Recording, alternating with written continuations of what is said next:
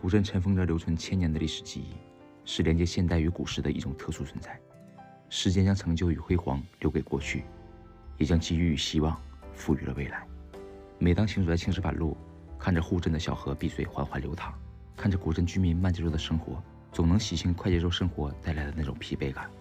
如同在我的生活中，一切都在快进，不经意间错失了很多美好的瞬间。人生有时候需要学会慢下来，慢下来，让生命在慢慢的沉淀中变得宁静通透。慢下来，思考生命的价值，感悟舍得的智慧。慢下来，洞察西北处散发的醇厚芳香，体味生活给予的美好回甘。品读这座古镇，就像一位饱经沧桑的老者，有看遍浮沉的睿智，有久历岁月后的坦然。发生在他身上的故事，就像老酒一样，韵味深厚，十里飘香。细品之余，历久弥新。点滴都是时间的馈赠。这么多年，走过不少地方，也遇见不同的人。向着远方不断出发，是源于心底的热爱。更源于对美好事物的奔赴。我们的人生旅途在舍得之间不断抉择，坚守自己的初心，总会迎来美好的收获。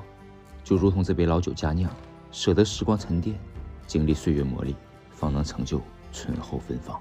突然想起来啊，《卧虎藏龙》里边有句台词：“当你握紧双手，里边什么也没有；当你打开双手，世界就在你手中。”